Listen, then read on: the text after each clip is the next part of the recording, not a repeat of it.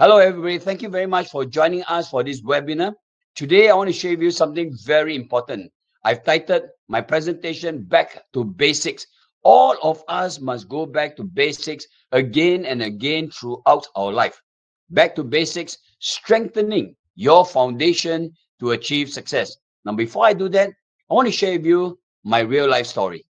At a tender age of 11, I used to work at Sungai Road. I did it to earn extra pocket money. So as so because I came from a very poor family. The Sungai Road Flea Market was once known as the Thieves Market. It had been around for more than 80 years. The flea market had been demolished recently to give way to a modern built environment. I used to work for an elderly couple, distant relatives on my grandmother's side. My grand auntie, come Lady Boss, was an unforgettable character.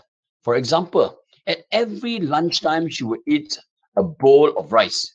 Nothing strange about that, except that my seemingly invincible boss would pour a bottle of Guinness stout over the rice. She would make sure it was stirred, not shaken before eating it. We ran the second dingy stall at the fringe of Sungai Road, right in front of the defunct ice factory. Yes, those were the days when many homes did not even have a refrigerator. People actually went to the stalls, to the grocery shop to buy ice from the neighborhood uh, retail areas. Our merchandise comprised of comprised mainly of jeans, shirts, and other clothing. They were targeted at working adults from the lower socioeconomic segment. The products were generic brands which the only selling point of which was to sell it either cheap or cheaper than most other retailers elsewhere. However, there were many similar stores in Sungai Road. We operated in one of the most competitive marketplaces. To passers-by, our shop was a shack put together with wooden poles and a rundown canvas. To me, to my family, it was a retail palace. It does not matter to us that we didn't even have enough space to set up a changing room. It's not moving anymore. Oh. again. Huh? It does not matter to us that we didn't have enough space to set up a changing room. Big dreams start in the mind, and dreams are anchored deep in the spirit. It may sound funny to you if I tell you that my prospective customers have to strip to their undies to try out our jeans. For female customers, one of us would hold up a dark cloth to set up a temporary changing room. When you walk into my shop, I would ask you, what's your size? In our stall, there were only three sizes small, medium, or large. If your reply was small, which was the most common size for many people from the social, the lower socioeconomic class, I would have given you a pair of medium size, medium sized jeans. The reason was simple. After washing the unsanforized or shrink to fit jeans, it would be reduced to a small size. If you continue to wash it, the long pants might even become a pair of shorts. That's a joke. The last line, sorry, bad joke, but forgive me. One of my killer sales lines which worked most of the time was wow you make our jeans look really good i would say that with all sincerity because i've learned to see good in every person there was not a single human i've met that didn't look wonderful to me in the old days the sungai road flea market was a huge one you could buy almost everything you need in your home or even in your office and at a bargain price too. It was a trading hub for petty thieves, pickpockets, and purse snatchers. Those were exciting times.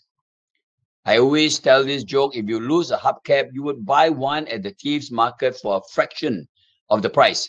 It would be delivered to you within a relatively short period of time. After you have fitted the hubcap, when you go to the other side of your vehicle, guess what? The other hubcap is missing. At the thieves market, I got to know many ethical and entrepreneurial hawkers.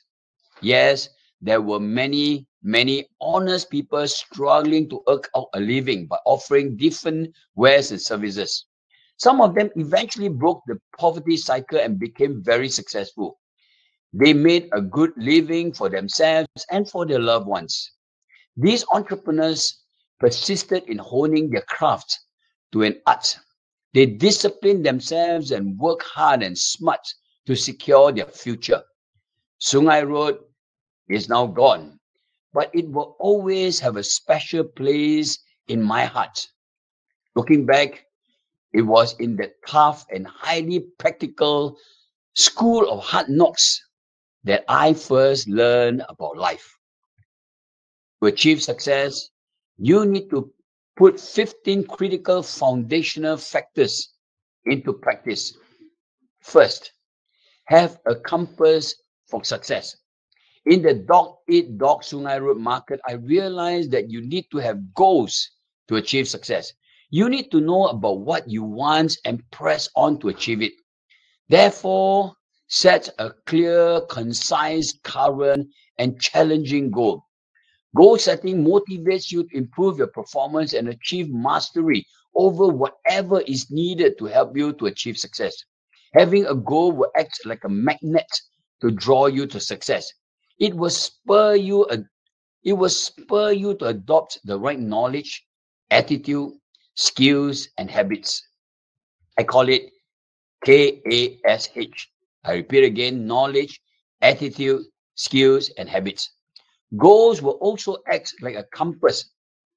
They guide you on the right direction on the right direction to the desired destination one of the keys to success is to constantly assess your progress in achieving a predetermined goal.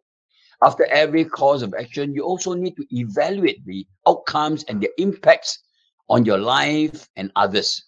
For example, don't just set a goal for weight loss.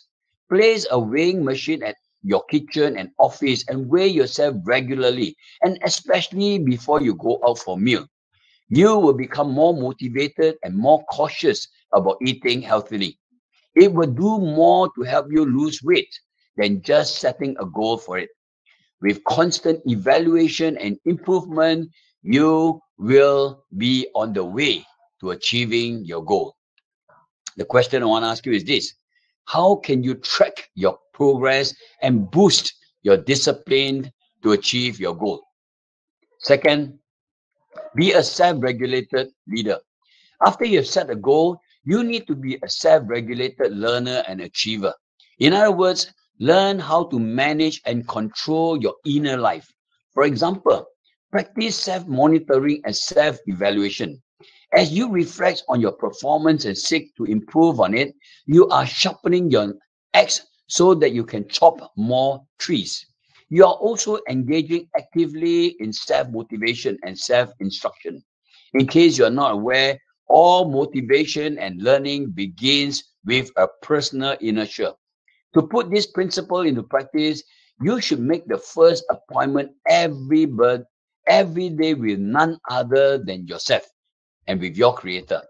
Use the time to evaluate your life and improve on it. Stretch yourself to set a higher quality and standard of living. Exercise self control over every area of your life. Discipline your thoughts, your emotions, your words, and your actions to achieve the, re, re, the required results. These metacognitive skills are pertinent to survival and success in a fast changing world. Just as importantly, learn to design and, if necessary, implement self imposed contingencies. In other words, develop the develop the capability, ability, agility, and tenacity to adapt to any situation and make a success out of it. Explore all ways to learn, improve, and achieve better results, including attending seminars by world-class gurus and effective trainers. In short, lead the way independent of whatever happened within you and without. The question I want to ask you is this How can you control your words, thoughts, and actions and direct them to help achieve success? Third, manage your emotions. To be a self regulated leader, you need to ask yourself why do you want to fulfill your dream and be successful? One of the underlying reason is because you want to enjoy a set of positive emotions. These emotions include joy, love, peace, satisfaction, and fulfillment. Emotion is one of the end results of your pursuit. It is also what it is also what predominantly drives you and your thought processes, values, and behavior. Therefore, you need to manage your feelings, moods, and other emotions do not let emotions manage and correct you. For example, when you're about to respond with negative emotions such as hatred, anger, or retaliation, force yourself to control your mood. Reflect and contemplate over the consequences before you unleash your feelings. Under control, your emotions are powerful tools to help you to achieve desired outcomes. The question I want to ask you is this how can you manage your emotions and leverage on them to achieve success? Fourth, stay optimistic. Research has shown that self efficacy or the belief in your ability to learn or accomplish a task at a desired level is a key to being successful. It has also a major influence on your motivation, well being, and success. Your self efficacy is shaped by confidence and competence in performing a task. It is determined by your experience in learning and improving yourself. In addition, it depends on the influences of the people around you. It is also the result of your physiological and emotional states. There is a positive correlation between self efficacy and personal achievement. For example, if you want to be an entrepreneur and you do not have a reasonable belief that you're able to succeed as an entrepreneur, you will not start a business. You will not have the passion to succeed in it. In other words, if you're optimistic about yourself and the desired outcomes, you will be in a better position to achieve success. The question I want to pose to you is this how can you increase your self efficacy so as to put yourself in a better position to succeed? If exercise responsibility. If anything negative happens, bear in mind it does not happen all the time and it is temporary. Don't take it personally and remember these too will come to pass. Never lay blame, justify, and give excuses. Being responsible means to take charge and exercise your ability to respond to any challenge. You can learn from any failure, overcome any setback, and go around any mistake and use it to raise your and use all these setbacks to raise yourself to a higher level of accomplishments. Every time you bounce back from a failure, you strengthen your resilience muscles you learn how to be in a better position to persevere through the unpredictable storms and dark clouds in life. As the Chinese will say, 天有不测是风云，人有旦是我旦夕祸福. Let me repeat again. My Chinese is not so good. I'm trying to memorize this by heart. 天有不测之风云，人有旦夕祸福. Like an aeroplane going through a temporary turbulence, soon you will see sunshine and beautiful clouds again. You will land shortly on your beautiful destination. So I want to ask you is this How can you take full responsibility even if it is not entirely your fault and then put yourself on track to achieve success? Six, take charge. To do that, you must have a winner's belief system. As a winner, believe that our Creator has already given you whatever you need to manage the fish of the sea, or and the birds of the air and over every living things that moves on the earth. I'm quoting from Genesis chapter 1 verse 28. You have a tremendous amount of power that's beyond what you can even think or imagine. What stands between you and success is essentially just one factor action. Make no bones about it. You need to put in determination, effort, and perseverance to achieve success. Every now and then, you will need to renew and strengthen your commitment, grit, and resilience. Success is proportional to what I call your smart sweat. The smarter you sweat to achieve your goal, the more successful you will become. Therefore, take charge and make things happen. The question I want to pose to you, and I want you to think this carefully over the entire period of your life. The question is this How can you tap your maximum potential and live up to your highest calling? Seventh, Surround yourself with success. Success is being in the right place and at the right time. Therefore, learn from and model after successful people. Choose the people that you're going to mix around with. If you follow and improve on the footsteps of giant, you will end up in the same or even better destination than the giants. Always seek wise counsel and ask for help. Look for experts who can coach you, guide you, and mentor you throughout your life. Seek useful sources of information to help you to live out your dream life. Be found in the right social cultural setting, places that can only inspire and propel you forward to success. Immerse yourself in the right culture and community so that you will be filled with and you will manifest all the goodness of life question that I want you to ask yourself is this How can you immerse and surround yourself with catalysts of success? Eighth, enjoy your journey to success.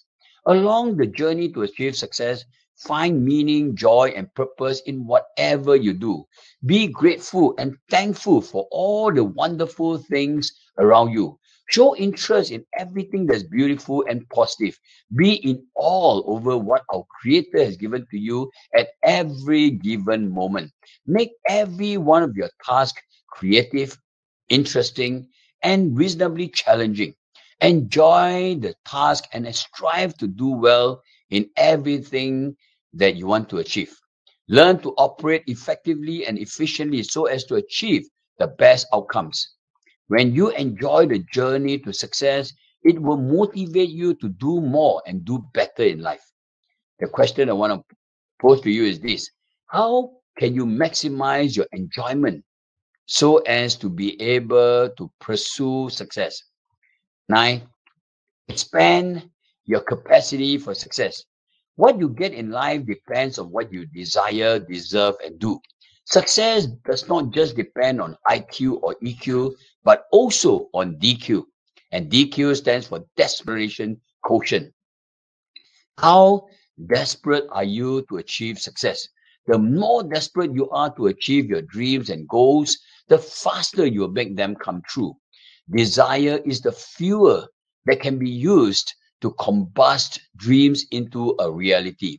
Desire that's well managed can lead to healthy desperation. Healthy desperation can lead to certainty of purpose. Certainty of purpose can result in unwavering perseverance. Unwavering perseverance can lead you to lasting, lasting success. However, desire alone is not good enough. You must also be deserving of the success. Know what our Creator wants you to do with your life. Pay the price to enjoy the fruits and the sweetness of success. For instance, learn to cultivate and continue to improve on the right knowledge, attitude, skills, and habits to achieve success. Finally, do the things that our Creator wants you to do. That's the difference between successful people and others. Action. If you do nothing, you will only achieve nothing. If you walk if you keep walking on the same pathway, you will always end up in the same destination. Once you have crafted your plan, strategies, and required activities, take massive action. That's the crux of success. The question I want to pose to you is this How can you expand your capacity for success? Tenth, create luck. Luck is directly proportional to smart sweat. The smarter you sweat, the luckier you will become. Practice makes perfect may not work. Practicing a failure can only make you a perfected failure. Run more miles in the right direction. Run more than what your stakeholders expect of you. Longer than your competitors and further ahead of what the market expect from you. When you do that, you will find luck raining upon you. The question I want to pose to you is this. How can you work harder and smarter to achieve success? 11. Fight for every win. In the Sungai Road Flea Market, we fought for every customer, we fought for every deal, and we fought for every cent. The fighting spirit kept our fire burning. It drove us to push the envelope and press for excellence in every area of our business. Always remember, there are lots of good fights inside you, and you have everything it takes to win every fight. The question I want to pose to you is this How can you improve your fighting spirit? 12. Change the changes. Develop fluid intelligence and a highly versatile team and even an organization with you and together with you. The Sungai Road Flea Market taught us to be data orientated and to develop divergent and critical thinking. By being versatile and having more dots in our minds, we could connect them in different ways to achieve desired outcomes. In the same way, you need to build qualities of adaptability, tenacity, and agility in your team and in your life. By being flexible, we can change with changing times. We can capitalize on the silver lining in every dark cloud. The question I want to pose to you is this how can you adapt to changing times and even change the changes to achieve success? 13. High up your emotional intelligence. In the Sungai, in the Sungai Road Flea Market, not only do we need to be street smart, but we also need to be emotionally wise too. Being emotionally wise begins with knowing your strengths and weaknesses, and especially in understanding and leveraging different emotions for greater good. In particular, you need to control your impulses and outbursts. Emotional intelligence can help you enhance your ability, passion, and energy. With increased vitality, you can be in a better position to achieve your dreams. It will also help you understand and influence other people's emotion. You will be able to relate to and lead others in a better way. The question I want to pose to you is this How can you become more emotionally intelligent so as to win hearts and minds? 14. Continue to improve. Some of the best teachers in the Sungai Road Flea Market were our competitors. By observing our competitors and even sharing ideas with them, we learn better ways to run our business. In addition, we also try to learn from businesses outside of our industry. By emulating them wisely, we could also take our business to a higher level. We were never shy to ask for feedback, and we were thick skinned enough to ask for support and assistance. As there were no assurance of a decent meal the next day, week, or month, we would have no issue eating humble pie and risk being embarrassed to find out a better way to succeed. There is always a better model out there that you can learn from and to improve yourselves. Therefore, have a research and development center in your brain all the time. As you continue to learn new lessons and develop better action, record them and improve on them. Challenge yourself to come up with a better model, a better value, a better service, and a better other area of your life. If you improve a little at a time, at some point in the future, you can fly to your dreams. The question I want to pose to you is this How can you continue to improve throughout your life? 15. Live well and do good. Integrity is first and last. Never sell your soul for any price. Do the right thing. Never do the wrong thing. To avoid taking the wrong path, ensure that it is so much easier to do the right thing. Make it very hard to do the wrong thing by establishing a positive and healthy culture. Have competent people to watch over you and ensure that you walk the narrow but straight path. When you live well and do good, you will earn the respect of your friends, colleagues, and customers. They will prefer to work with you and be your friend. Life will be a purposeful, exciting, and fulfilling experience. I hope these barriers sorry, I hope these basics will propel you to a higher level of achievement and result. See you along the journey to success. The question that I want to pose to all of you is this What are the barriers that you are, sorry, let me repeat again. What are the barriers that are holding you back from success and how can you overcome them? I hope these basics will be revisited by you again and again throughout your life, and they will lay the foundation to help you to do more and do better to achieve success. Thank you.